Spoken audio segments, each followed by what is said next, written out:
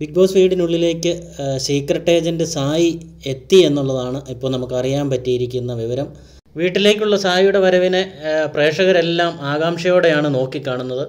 പലരും ചോദിക്കുന്നത് സായിയനെ നമ്മൾ കാറിനുള്ളിൽ ഇരുന്നു കൊണ്ട് തന്റെ നിലപാടുകൾ വ്യക്തമാക്കുന്നതാണ് നമ്മൾ കാണാറുള്ളത്.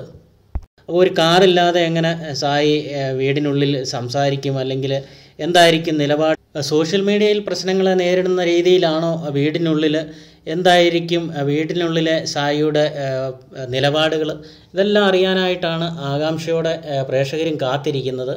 അത് ഏറ്റവും കൂടുതൽ വിമർശിച്ചിരിക്കുന്നത് ജാസ്മിനെയും അതുപോലെ തന്നെ ഗബ്രിയെയും ഒക്കെയാണ്.